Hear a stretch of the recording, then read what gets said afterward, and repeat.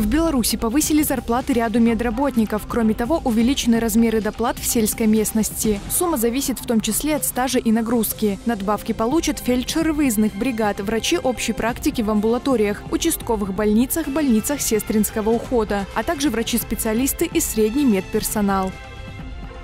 Порядка 55 тысяч абитуриентов зарегистрировались для участия в ЦТ. Наиболее востребованные предметы в 2024 – русский и английский, физика, математика. С 27 мая по 6 июня пройдут все испытания. Сертификаты начнут выдавать с 1 июля. Расширяются и систематизируются льготы для поступления одаренных и мотивированных.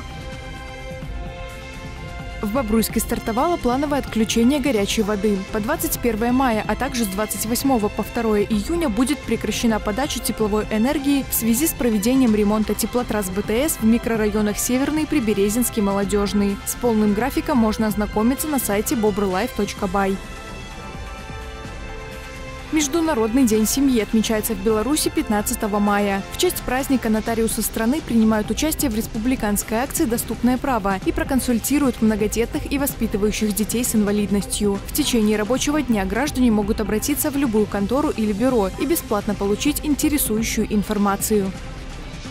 В республике стартовала пропагандистская кампания «Не оставляйте детей одних». Она направлена на привлечение внимания к проблемам детской шалости с огнем, предупреждение пожаров и гибели на них, снижение количества чрезвычайных ситуаций и обеспечение общей безопасности. По 1 июня работники МЧС проведут разъяснительную работу.